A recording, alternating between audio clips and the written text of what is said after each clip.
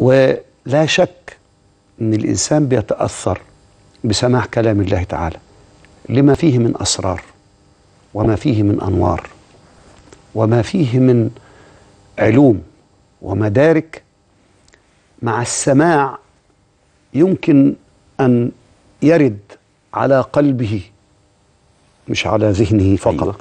على قلبه معنى من معاني القرآن أو يصور في قلبه مشهد من مشاهد الحقائق التي جاء بها القرآن فينخلع الإنسان عن نفسه ويتأثر ويجد أو يتواجد يعني يخرج ها؟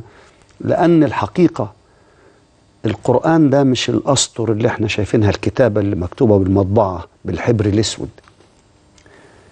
قال بعضهم ده الكلام ده عندهم مش عندنا إحنا. عند من- الخواص. آه آه يعني من لم يرى